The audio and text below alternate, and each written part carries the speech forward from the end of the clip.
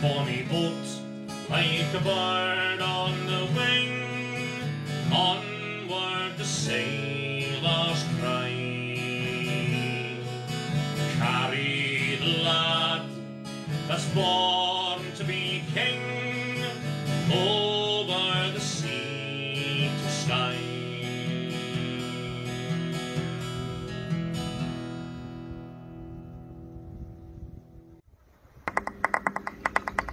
Good evening and welcome to Inverness Outlanders. We're broadcasting from the vaults in the depths of MacGregor's Bar, which is right in the heart of the ancient part of Inverness. It's uh, the old town of Inverness. Here we are in a building that dates back to probably just after the Jacobite Rebellion.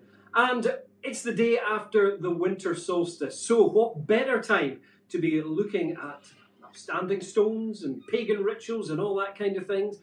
Uh, this is a programme that has been inspired by the Outlander book and the, the TV series, but it's much more than that because we're looking at the inspiration for those books and the, the TV series. We're going to be looking at the land, the language, the people, and the culture of the Highlands. Yeah, hello, the house.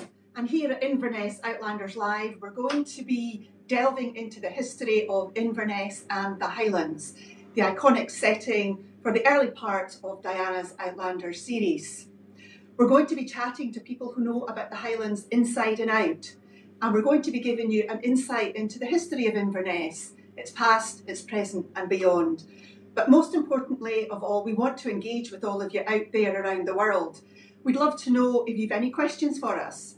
Um, do you have any stories you want to share? Um, are there any subjects you'd like us to talk about in future shows? It's a live show, it's also an interactive show. show. And in order for you to communicate with us, Bruce has got all the details. Yeah, and because it's live, that means anything could go wrong at any stage. So do not be surprised if we disappear or things go wrong. Stick with us. And if you want to get in touch, please get in touch by email. It's hellothehouse at yahoo.com. Any pictures you have, any stories you have, any questions you have, please send them. Uh, we'd love to get in touch with you all across the world. Also, if you do have the chance, if you're watching on Facebook, if you can do the the party share, there's a little icon down, I think it's to the left. You can press that and it'll be able to share it to all your friends. Anybody you think might be interested in Inverness, the Highlanders, the Highlands, and uh, Outlander, please get in touch with them. Let them know that this programme is on. Yes, you'll see that uh, we've chosen to call our um, email address Hello the House, and that's how I greeted you all this evening. Now, that is actually a traditional greeting, probably southern United States in origin, and it was given as a greeting when you approached a household to let them know that you were actually a friendly visitor. Diana reuses the phrase in her eighth book, Written in My Own Heart's Blood, and it's also, you'll see it used by Outlander groups um, on Facebook posts and announcements, just as I did this evening. Yeah, I've got a feeling I'm going to be learning an awful lot uh, in the next few months. I'm Bruce MacGregor, and uh, I'm a presenter on BBC Radio Scotland, the travelling folk programme. And I'm also a professional fiddle player with the band Blazing Fiddles. We've been uh, touring the world now for about 20 years. So I've been lucky enough to have been brought up with the music, the myths, and the legends of the Highlands. And I'm Caroline Keith. I'm Highlander and I was born in Inverness, grew up in Fort William, and spent many happy caravan holidays touring the Highlands, which is where I got my love for the country. So, no surprise that I'm a tour guide these days, although not exactly this year, unfortunately. I'm a big Outlander fan and I'm also a member of Inverness Outlanders. And just to give you um, a heads up in case you're not familiar with the Inverness Outlanders, we're actually a small group of Outlander fans based in and around Inverness. We meet up regularly, about once a month. These days it's just a Zoom chat that we have, but we share and chat about all things Outlander and we also like to share our information and our thoughts with Outlander fans worldwide, hence Inverness Outlanders Live. And on the other side of tonight's camera is another Inverness Outlander member, that is Jo De Silva. Now, she's also a big Outlander fan, and just to put you completely in the picture, she's also Bruce's wife. Yeah, I had to get the job some way, didn't I?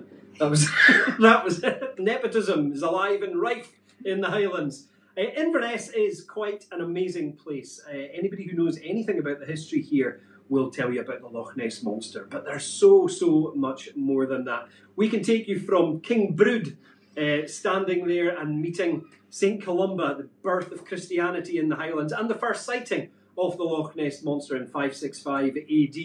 We can take you to the castle, which has housed Macbeth, Mary Queen of Scots, and we also, just looking across the water there to the north of us, we have the home and eventually, um, unfortunately, uh, the, the end place for the Brahan Seer, Scotland's Nostradamus, a man who predicted all sorts of amazing things uh, unfortunately, he didn't predict how he was going to end up in a rather sticky mess at the end of his life, but we will probably come on to him later on.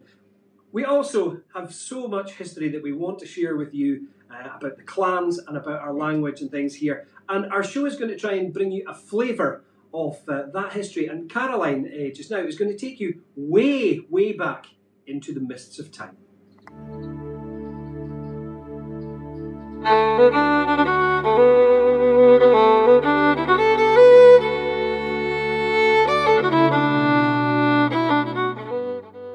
Hello, on a rather chilly December morning in the Highlands of Scotland, and welcome to Clava Cairns. We're just outside Inverness, and in fact, we're not very far at all from Culloden battlefield. Clava Cairns is an ancient cemetery, which we'll be talking about later on. It's 4,000 years old and it's one of Scotland's most evocative prehistoric monuments.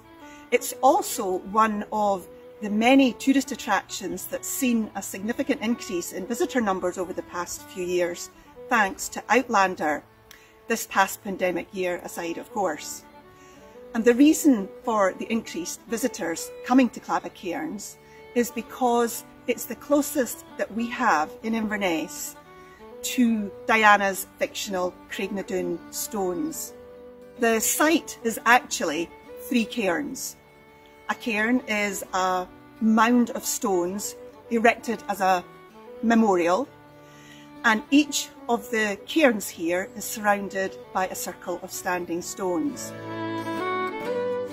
And how lucky are we that of the standing stones here, one of the megaliths is really similar to the stone that Claire time travelled through in the Outlander TV series.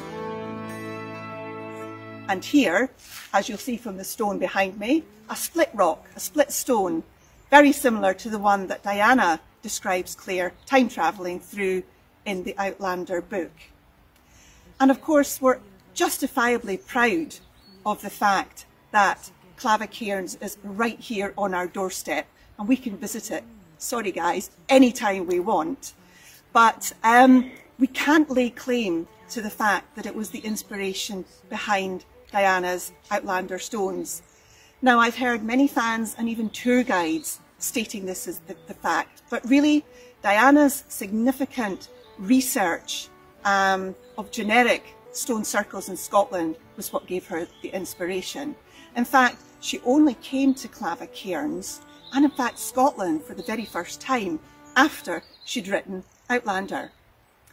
But the most important aspect of Clava Cairns, and in fact the majority of Bronze Age monuments around Britain, is the fact that the cairns are aligned to the rising and setting sun at different times of the year. The most important, or one of the most important, being the setting sun of the winter solstice. And during our programme tonight, we're going to be taking a look at the people who built Clava Cairns, why they built it, who they built it for, and why the winter solstice was so important to them. So we hope you'll stick around to hear a little bit more. We are so lucky to have that on our doorstep. It's funny as well, I grew up not really knowing much about it. You know, it was just on our doorstep. We mm-hmm. drove past it, and nobody, I don't think anybody in Scotland took much notice of it. It was just on the side of the road. And it's now become a really important uh, part of our, our history and heritage. We have had so many of you getting in touch as well. Susan Hurst from Oklahoma, Wendy Luther uh, from Massachusetts, Kendall Casey Snyder in Alabama, uh, Mary's, Mary's Menders um, saying hello, and uh, Darlene Kelly is asking what the weather is like it's cold. That's about, it's not bad though. It Three was, degrees. yeah, it was absolutely beautiful this morning, but it has turned uh, rather cold. No snow yet though. No snow yet. Who's who else has been? I have a few shout outs from somebody called Barry Waldo. Hi, Barry. Hello. um, a few other people. We've got um, Lily Rehak in Florida. Sorry for my pronunciations. Um, Debbie Joe in Glasgow. Anne Daly, Glenn Moyer in Keithville, Louisiana. I'm going to do a shout out because I've got the floor to the Spirit of Outlander Tours. Hello, everybody who I've guided over the past few years. Sorry we didn't get to meet up this year, but hopefully next year. And also a shout out from one of our members, Mary, to the Outlander North Carolina group. We've also got Barbara Henderson from New Zealand, Cheryl Going from Miami, Carol Malab from California, Diane Thomas from Texas, and Daniela Stadler from Germany. And I've got to say hello to the Outlander podcast and Outlandish UK. That's absolutely fantastic. Isn't Really, thank you so much for joining us. And please do remember, if you can, share it with other people. We'll try and build the community as we try and build the, the programme up as well. Uh, where is our next up? Because because we have got so much to try and squeeze in, we're going to move quite quickly. Where are we off to next? We are off to Culloden House Hotel, Bruce. Now, a lot of people watching will be very familiar with that. Just to set it in context, uh, Culloden House was owned by the Hanoverian supporting Forbes family. And then in 1746, the Jacobites requisitioned it and used it as their headquarters in the build up to Culloden. And in actual fact, Bonnie Prince Charlie stayed there for a few days prior to the battle itself. Now, unfortunately, the house suffered greatly in a fire and decayed quite a lot and was eventually replaced by another house. So Culloden House Hotel is only about 200 years old. And there is, however, the vaults in the basement are the original ones from the, the, the first house. And also there is a small piece of a wall still remaining from the original house, which the staff at the hotel will be more than happy to let you know about if you, if you ask them. Also, um, Diana is known to visit Culloden House Hotel quite a lot when she when she visits Inverness, and there is a seat in the walled garden of the grounds dedicated to her, thanks to the Ladies of Lallybroch, the first Outlander fan group. And also, it's somewhere that the Inverness Outlanders like to go for afternoon tea on occasion. Very and in civilised. actual fact, we were there um, a year ago and should have been there on Sunday for our annual Christmas get together, Oh, but COVID managed to scupper that. that's a shame. It's such a beautiful place and really, really friendly staff there. We actually took a staycation, Mrs. MacGregor and myself, and uh, Josh. We headed there for one night. Uh, that was our holiday this year. One night, three miles away across town to get to it. Uh, and I was kind of inspired. I was really, really lucky when I was younger to be taught music out of this book. It looks like it might have come from the, the 18th century, but it's just been well used. These are the airs and melodies peculiar to the Highlands of Scotland and the Isles, communicated in an original, pleasing, and familiar style um, for the piano, forte, harp, organ, or violin, cello. Uh, uniquely acquired during the interesting period between 1715 and 1745 through the authentic source narrated in the accompanying prospectus. What a title! How would you file that? We actually just call it the Captain's Collection. It was loads of tunes that were collected by Captain Simon Fraser, who actually ended up his days living right across from our pub in Rose Street over there. He published this book in 1815, uh, and it was all tunes that were about the Jacobites, uh, and most of them were actually songs. But Captain Simon Fraser, being a little bit of a crawler and trying to get in with the Hanoverians in 1815, stripped the tunes of all their lyrics. Uh, all those Jacobite lyrics were kind of thrown into the bin, which is a great shame, but at least he kept the melodies. And this is a melody from the book. Uh, I'll let you hear it first. This was filmed when we went to Culloden House. Uh, this is a tune called Hard as My Fate.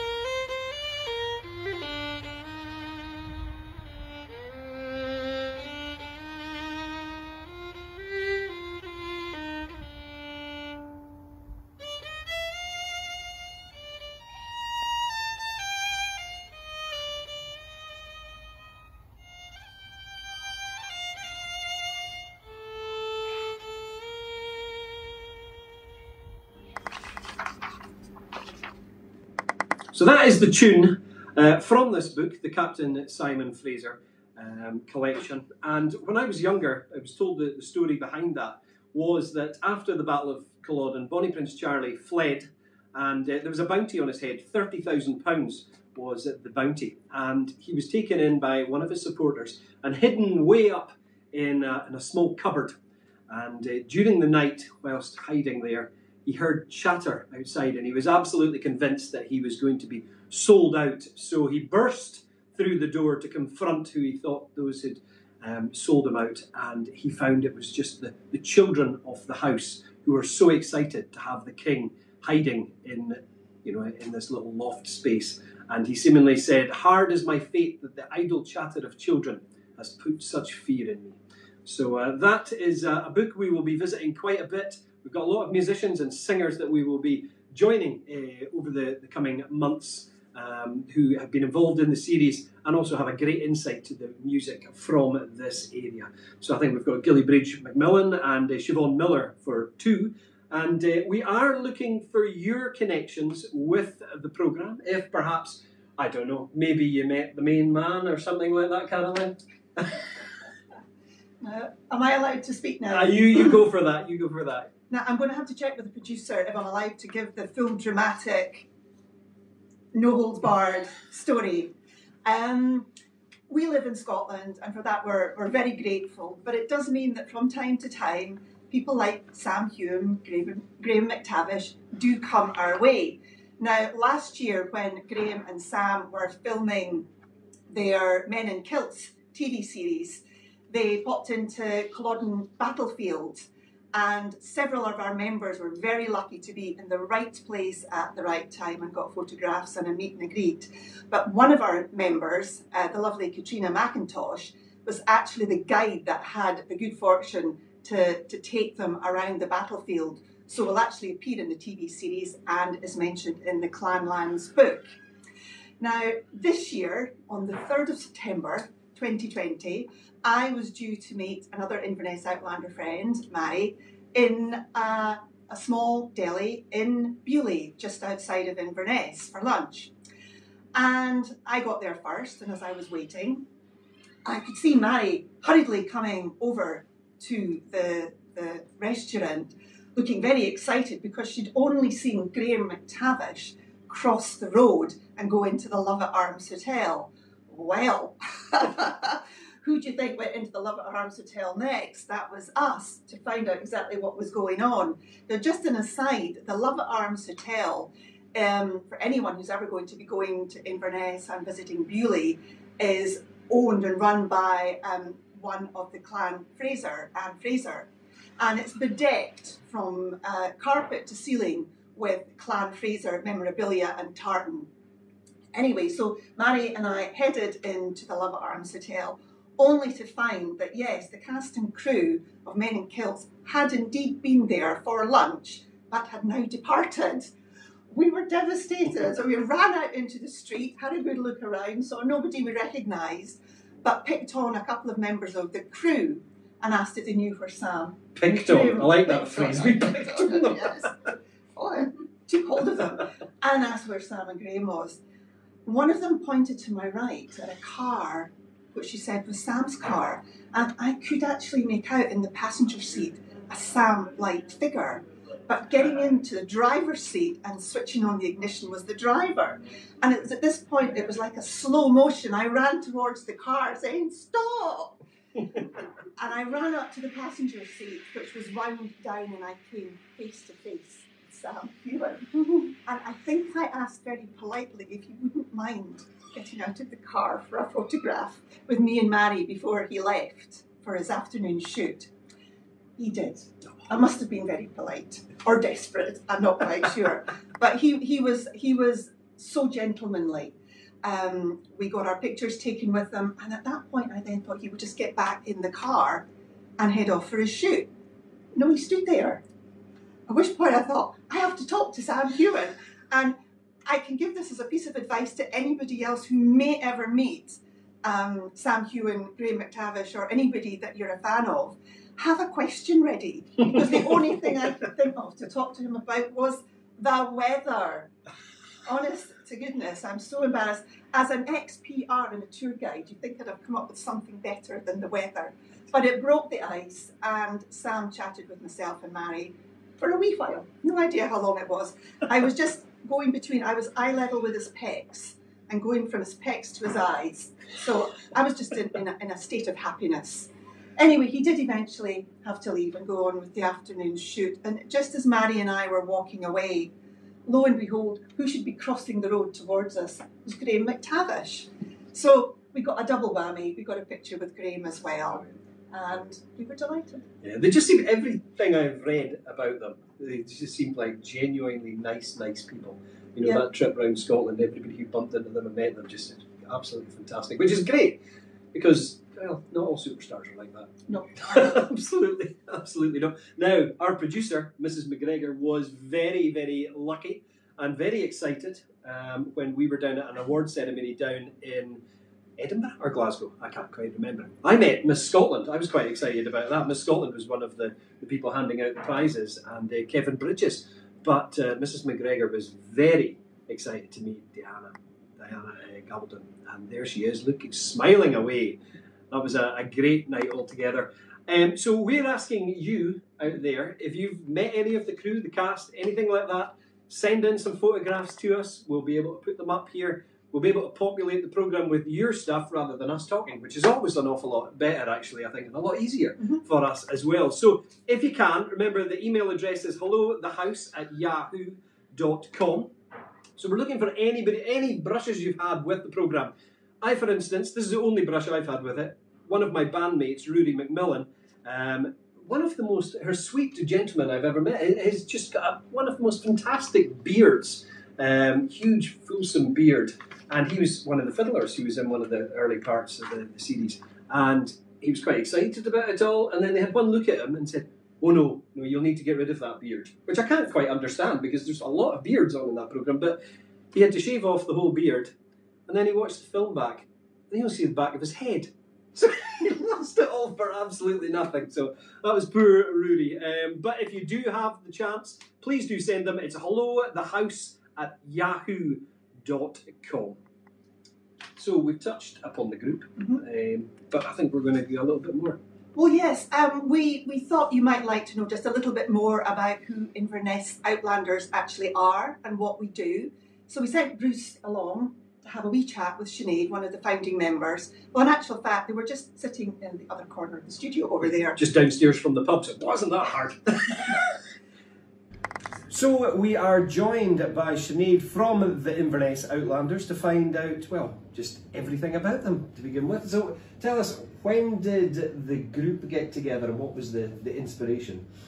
Well, um, I've been an Outlander fan for years. Um, I read the books years ago, and Outlander was always there in my heart. But I didn't know any other people who were as crazy about Outlander as I was. So back in 2013, um, in June 2013, Starz announced that there was going to be a show that they were going to make a show called Outlander. So all the fans got really excited about it, and we all started to buzz about on online and discovered there was other fans um, out there. So in that was June and July, Sam Heughan was announced as Jamie Fraser. So we eventually had our Jamie that we had read about for years and years. We had no idea what he was going to be like, and suddenly we had Sam as our Jamie. So we were very excited as fans. So that's your spark. So that was a big spark, and that brought so many fans onto Twitter. Um, because at the time, Sam was only on Twitter, so it brought so many fans onto Twitter at the time. So we all start tweeting together. Sam was very responsive because there were so few fans out there at the time. So we were all, um, everyone was very excited. But then also to discover that there's lots more fans out there from Inverness and from Scotland. So it was lovely to then find other fans out there. Um, Starz put out a, um, a poll to say who, what would, what do Outlander fans want to become? Because at the time, um, Sam's fans became hooligans, and they said, well, what's an Outlander fan called? So they put out a poll, and um, the fans decided they just wanted to be called Outlanders. So, and then it was natural then we would be called the Inverness Outlanders. So we became the Inverness Outlanders. And you've got a real head start. Mhm. I mean, We're- Inverness Outlanders, it's the, the heart of the, the story, really. Yeah, the book starts in Inverness. We're in Inverness, so we do have a head start. So. And did you have a, a kind of goal, or has it evolved over the years of what you wanted to do? Um, it's kind of grown. We at first we just wanted to meet other people who were as mad about um, Outlander as we were. So we became a small group that, and we met together and we we talk about what was happening online or what the next thing was. So it was just really nice to meet other people who were as passionate about um, the Diana's books as we were. So at first we wanted to do that, but then we discovered that there was lots of other fans out there that wanted to. Um, they wanted to discover more about Inverness, and we knew because we live here, we knew a lot more about Inverness than fans. A lot of fans came along and they said, "Well, besides Clava Cairns and Culloden, what else is there to visit um, in Inverness?" So we knew lots of other places that were Outlander connected that people mightn't associate like small places that were connected with the books. So we created a blog at the time to get out there so that other fans um, knew what else was around Inverness. Yes, it's a, a really worthwhile endeavour, and I mean, you've done quite a lot of other things as well. haven't? The map is one thing. Yeah, so the blog, we got lots of interest, um, and we went to the Highland Games and we created a blog into kind of um, like when you like a school project basically. Of course, we had lots of B and Bs coming to us saying like they'd never heard about Orlando. Said, "Oh, where do you get this information from?" We were saying our blog said we really want to create a map, but we were a fan group. We don't know how to create a map, so we didn't know how to go about that. But we knew Inverness fans, we knew Outlander fans coming to Inverness needed an Outlander map. So we got together and we, with the help of Jerry Reynolds, we created the, an Inverness Outlander map. Yeah, it's fantastic because uh, those are the kind of things when you're you're coming to Inverness and the, the wider Highlands, the history is just incredible. It is, isn't it And is. Outlander's a great way to get you started on that journey.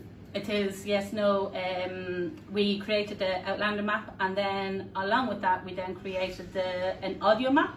So our map, there's each section on it because um, you can only have a small little section on the map with a little bit of explanation. So we then had an audio map that goes along with the map, which tells you a lot more information about each place, and it's free. It's free because we're uh, we're fans of Outlander, helping other fans of Outlander. That's what our plan was all along. Now, in case you're wondering what that ghostly sound was behind Sinead, we are in the basement of MacGregor's Bar, and the basement is quite close to the men's toilets, and that is the hand dryer. When you hear that going off in the background, it's not. Uh, it's not anything else. Uh, so that, just in case you're wondering what those sound effects are, uh, we haven't really worked on that. Thank you very much for getting in touch. And Anne, uh, Anne Stillman from South Lanarkshire, Susan Hurst from Oklahoma, uh, Carrie-Anne McDonald from Canada, and uh, Annabelle Berkris in South Lincolnshire, and Lynette Rollinson in Florence in Oregon. That's absolutely brilliant, all over the place watching. And I've got to do a shout out to, to stop a jealousy forming in a partner. I have to say hello to Jon Gary Steele, the set designer of Outlander. Um, he's very jealous that Barry got a shout out first. Do they, do they want any job getting this sorted out? I mean, this is this is the best we had actually. I think if you actually saw the other, well, you saw where Sinead was being interviewed, and you saw the twisted Christmas tree. I mean, that was She's still there. to be fair, that was me. I put that up. This has been done by you guys. It's looking a, a little bit better, isn't it, altogether? Uh, so yes, the Outlander map. I'm very eager to show everybody the Outlander map. This is it here. Um, it features 29 locations in and around Inverness. We have on one side, you could do a walking tour of Inverness. And if you have transport or you wish to have a tour guide, there are other locations in and around Inverness itself. Now, we hope eventually to feature most of these locations on our shows in the coming months. Um, but last year, we actually teamed up with GeoTourist uh, to produce an audio app. So every location on the map syncs up with an audio section on the app. Now, if you were wanting to get a copy of the map, you would actually have to come over to Scotland to get that. They are really only available in and around Inverness at the Tourist Information Centre, hotels, guest houses, bed and breakfasts, but you can actually download it from our blog invernessoutlanders.wordpress.com.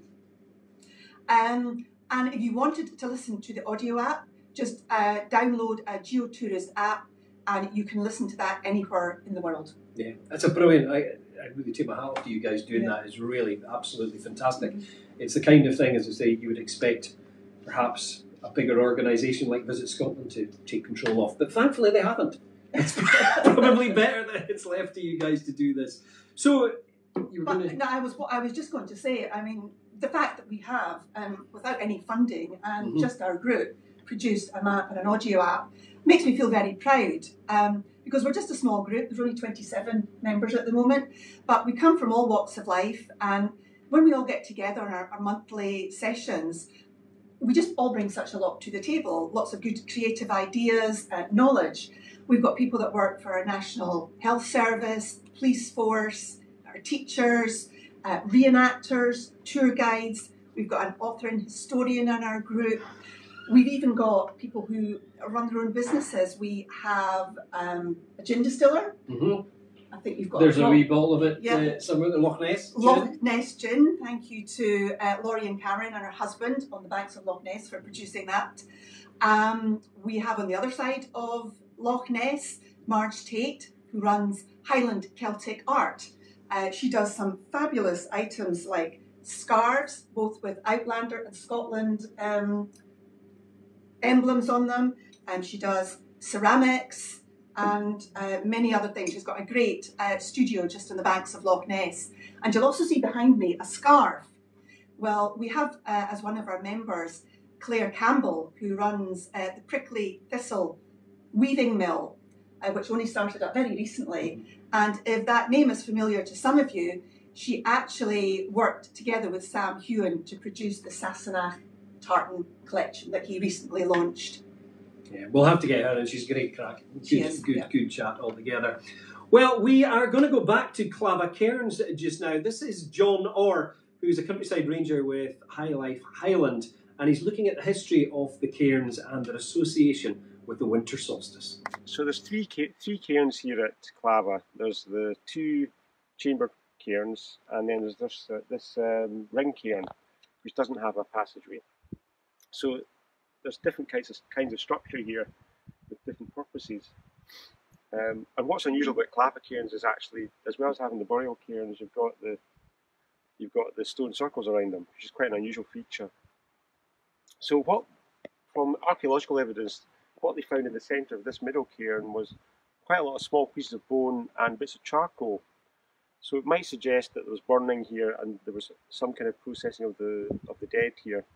And it would probably have been somebody of great significance to the, to the local people, to the local clan or to the local group. It's a bit like having a state funeral for somebody of importance like uh, Di or Winston Churchill or somebody. So there's, there's a lot of ceremony, there's a lot of parading and uh, rituals happening on the site.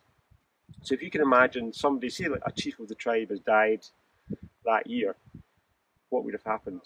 One theory is that they might have had these excarnation platforms in or, in or around the cairn, and you can see in this illustration, this is more of a, a an Iron Age looking lot here, but anyway, you get the general idea. But there was a raised platform on on wooden uh, poles, and the person that was was laid out, and they were left to the elements uh, and picked at by crows and buzzards and, and eagles and things. And one of the reasons for this raised platform was to keep things like bears and wolves from dragging the body away. So it was it was quite a common practice in and around the world, in, different parts of the world actually. This excarnation. Eventually, maybe over the this, over the year, the the corpse would just become a pile of bones. And with the evidence of charcoal in this in this uh, ring cairn, it's possible that the bones were then burnt and uh, what was found was just small pieces of bone. So this could be part of a ceremony. Um, and from this cairn, you might have paraded to uh, the next part of the ceremony, which could have been at midwinter or it could have been straight after the burning of the body.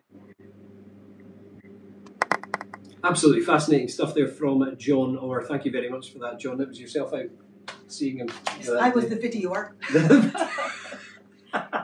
Well, we've got uh, more people getting involved in videoing because some of the Inverness Outlanders team and, and Sinead, I think, Mhm. were out there at the solstice. Uh, not yesterday, it has to be said, but uh, just have a look at this.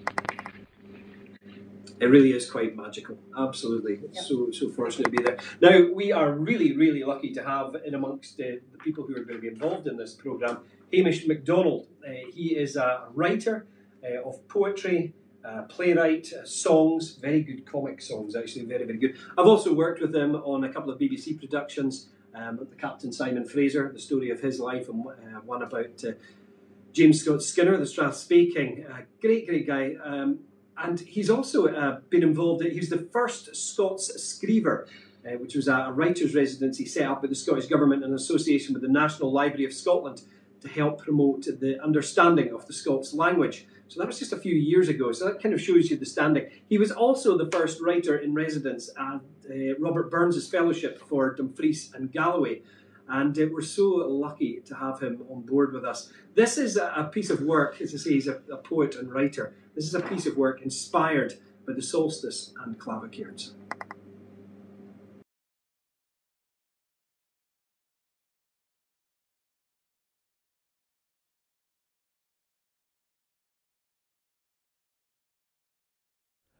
I come here at midwinter to stand in the shadows of those who built these cairns. Fire, time, mortality. Temple of light, calendar in stone, a monument to the dead. I look into this passage and ask who they were sowers of crops, tenders of beasts, workers of metal, watchers of the seasons, and ask what connects us across 4,000 solstice sunsets, 4,000 journeys around the sun. I come here at midwinter to wear the skins of the people who raised these boulders, looking out southwest to the sun's lowest depression, knowing that each day beyond this it must climb again in gradual ascent to the north. As through these stones we stand on the threshold of another year, for here is where old years die, new ones begin. Here is a graveyard of past years. Here is the nativity of those yet to come. Ages before Ptolemy and Copernicus, or Galileo put his eye to a glass to point at the night sky, Long before the tyranny of calendars and clocks divided existence into months, weeks, days, hours, seconds, there was only this.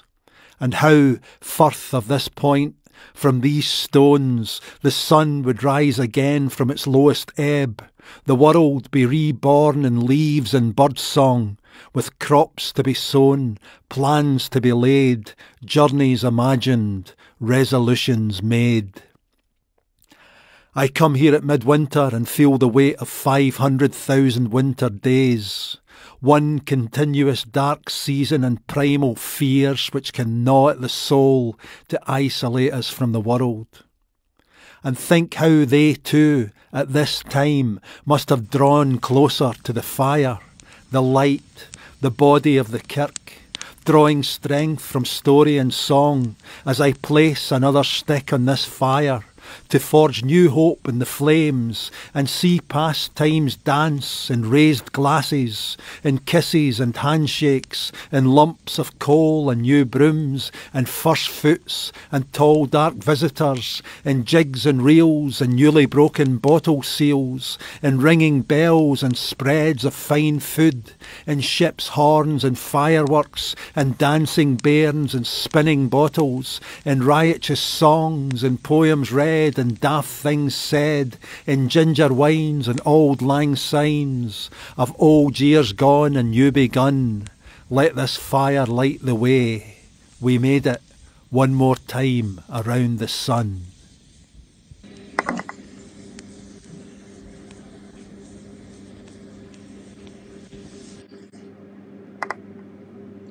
Well, that was quite moving. I, that's the first time I've actually heard that, and it exceeded my expectations because just to, to, to put, put you in the picture, Hamish actually wrote that for tonight's programme. Yeah, yeah, he's quite incredible. Um, we have we've asked him to do so many things that the, you know for other programs that we've been involved with, and he always comes up trumps. Yeah. Um, so he's a, an amazing guy altogether. Also, if uh, you can have a look at his website, you'll find another couple of books. He's actually done a, a book of poetry about a football club. Uh, for Clydebank, he's been taken on by Clydebank as their poet, which is very forward-thinking for a football club. But this uh, this is a beautiful book, Wilson's Ornithology of Birds in Scots, and it's poems in Scots that uh, Hamish has done alongside the illustrations of Alexander Wilson, who is a Paisley weaver and radical who went over. He was actually the founding father of American ornithology. Uh, so it's a nine-volume book. So Hamish has taken this, and the, the drawings in it are absolutely stunning, and uh, so is the, the poetry. So it's uh, absolutely great. So please check out Hamish's work. So we've got more Outlander news uh, coming up, and some little snippets of information about what's happening in Inverness. We do. This means we're actually coming towards the close of the, of the program because we will always, towards the end of the close of the program, have Outlander news where appropriate and some news about Inverness as well. Now, ideally, we'd like to be able to bring you some news about the new or the next Outlander TV series, or perhaps the ninth book in the series, or perhaps the launch of Men in Kilts. But we can do none of that, unfortunately. But what I can do is say, for those of you unable to visit Scotland this year, that Culloden Battlefield Visitor Centre are working hard on a 360 degree tour of the battlefield. And that will feature Katrina McIntosh, who was the guide that took um, Sam and Graham around the battlefield for Men in Kilts this year. Uh, so we hope to have more information about that next month, so watch this space. I know, were you going to say something? no, no. I was listening. that was a very intent look. um, and just for information, tomorrow, the 23rd, Caitríona Balfe is actually joining Josh Horowitz. Josh, I'll get my teeth around this one. Josh Horowitz. Uh, for a special holiday episode of the Happy, Sad, Confused podcast. Now, it's a live podcast. Uh, you need to buy a ticket. Um, there are taped appearances by Sam and Graham. Starts at 3 pm Eastern Time and 8 pm GMT. Great, great. Well, I was kind of tasked with finding out the Inverness news, and I looked all over, and all I could find out is that we're shutting. We are, we, we are closing on Boxing Day. It's all going quiet again. We've been really lucky up here in Inverness. We've been tier one. Uh, for those of you who are living abroad, that basically means we were allowed to live fairly normally. Uh, we had very few cases of the dreaded COVID, uh, but things have got a bit more serious just now. So we're locking down, which, you know, I don't mind hunkering down for January anyway. It's an absolutely awful month, so no big problem, and uh, more time to research and read and do learn some more tunes. But I also did learn, whilst I was looking for things, I happened to stumble upon the Inverness Courier, and BBC, uh, BBC Alba have got a programme called Cinema Gad- Gadakelica, I think it's called, and it's basically looking at all the sites in Scotland that films have been shot in. So you've got James Bond from Russia with Love, uh, and it goes to Argyll uh, there. And then that bit of Argyll was meant to represent Turkey, which is quite incredible. It must have been a very cheap budget, I would have thought, to not be able to do that. And then they obviously go to Glencoe, where James Bond was supposedly born, and that was uh, in uh, Skyfall. Uh, now, this one was completely new to me. Uh, Lochanari on Harris uh, was used on the film 2001 A Space Odyssey. Stanley Kubrick used it. He did some filters and things on it, but used that as the surface of the moon. So I've always thought when I go through Harris, it's like, wow, it's an otherworldly feel to it altogether. And Gene Kelly, this one cracked me up actually. Gene Kelly came over to Scotland to see if it would be perfect to do Brigadoon. And he was most disappointed because it was raining the whole time he was here. so he thought, we'll just do it in Hollywood. And they built the set for it. So that's a programme that's on BBC Alba. Um, and I think that'll be available to most of you in the UK. I'm not sure what the, the story is of getting it abroad. But uh, it sounds like it's going to be a, really good programme. Yes, and my uh, final story about Inverness News is that last year uh, a 1200 year old Pictish stone was unearthed um, deep, buried deep under vegetation. Now, just uh, by way of setting the scene, the Picts are the peoples that lived in the north of Scotland from about 3 to 10 AD. I quite like the sound of the Picts. They sound like they were quite fierce warriors. They actually protected Scotland from the Romans. The Romans didn't make it up this far north. In fact, the Romans called the Picts the painted people, and we assume that they meant that they were tattooed.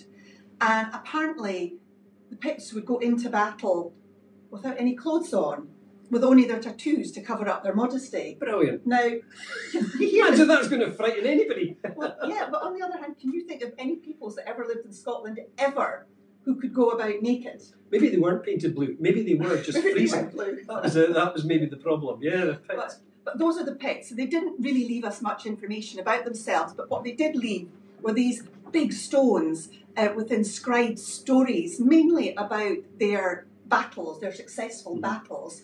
And some of the stones would have a cross inscribed on them. And this is what was found at Dingwall, just outside of Inverness. It's called a cross slab, and they're very rare. There's only about 50 of them uh, known in the country, and so therefore it is of national importance. It actually went on display in the Dingwall Museum just last week, and it's in the window. And because Dingwall Museum is closed because of COVID restrictions, um, you can actually walk past the window on the high street and view Mhm. the stone, and there's somebody from the museum to tell you all about it. That's great. Yeah. Again, I was really lucky when I was brought up just outside of Inverness. We, uh, the farmer's field beside us was dug up and they found the Boar Stone, um, which is now in front of the, the townhouse. And that's a, a, a carving of a, a complete boar that was done by the Picts. And the boar was celebrated by them and, and it basically showed that you had plenty of. Um, you were one of the heads of state. You had a boar uh, on your stone. So, yeah, again, we just grew up with it and didn't really think too much about it. But that is just about it. Um, thank you so much for getting in touch with us, all of those of you who did. Remember, please share the programme with those that you think might be interested. Please send us your ideas in as well. It's uh, hello the house at yahoo.com. Uh, if you can send anything in there, uh, we're going to do another programme in January. Uh, January is traditionally where we look to Robert Burns really for influence. Um, we have a we have Burns nights for we eat haggis for about three weeks. I think it certainly feels like that after, after you've been to a few of them. Eat haggis and drink whiskey and uh, recite very long poems. Uh, so that's it. But what we're going to look at is the fact that Robert Burns actually came to the Highlands and to Inverness. He was collecting a lot of his melodies for some of his most famous songs actually came from Gaelic songs. He was also a fiddle player, so I'll hopefully be finding out uh, a little bit more about his fiddling style. So we're looking for the guests for that programme. Got a couple of them up our sleeve, um, but that's what we're going to be looking at mostly, I think. And then We're also going to be meeting another Inverness Outlander, and that's put put the wind up all of them because they've no idea who I'm talking about at this point in time. And we'll be speaking to other experts about um, connections with Outlander and Inverness. And just before you pick, I know you've picked your fiddle up, but just before you actually play it, I just wanted to say that um, if anybody watching is interested in any of the people that we've featured tonight, or any of the, the, the places that we've talked about, we have a blog, an information sheet that details all the contacts and how you can follow them or get in touch with them. Um, if you, you can download that at our blog, invernessoutlanders.wordpress.com. Great, great. So I'm going to leave you with one more tune from uh, this trusty old tome, tome, tome. the airs and melodies peculiar to the Highlands and Isles of Scotland, chiefly acquired during the interesting period between 1715 and 1745. This is called the Highland Bumpkin, or the Favourite Dram, and uh, it was actually a song that was sung by the Jacobites after 1715 had failed and uh, it was all in praise of uh, King James, but it was all kind of in code. So, uh, and again, Captain Simon Fraser took all the lyrics out, so we're just getting it from other people that we we found out this story. So this is it. So thank you very much for joining us, and uh, we'll raise a dram to you.